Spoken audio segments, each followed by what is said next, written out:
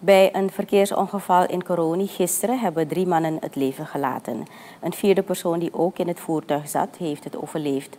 Het ongeval vond in de vooravond plaats, ter hoogte van kilometer 124.